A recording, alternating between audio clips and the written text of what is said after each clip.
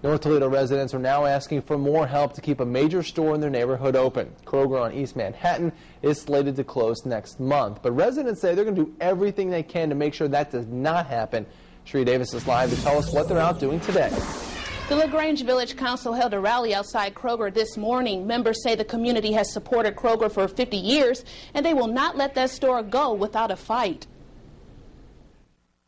Right now, the community can get involved by coming to the meeting and showing their support for their local store.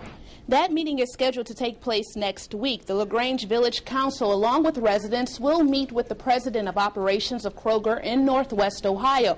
Members say not only North Toledo residents shop there, so it's vital to the Toledo community.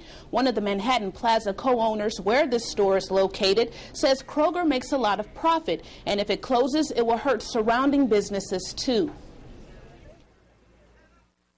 Kroger is an anchor tenant and it draws a lot of traffic.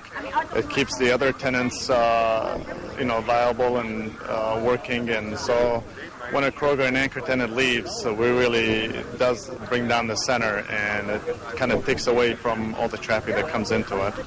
Now, a representative from Kroger says this meeting will only explain why the store is closing. There will be no talks of negotiating, so it will close regardless. But that meeting will take place on September 10th at the Zablocki Center on LaGrange at 6:30. Reporting live, Sharia Davis, Fox Toledo News, first at 4.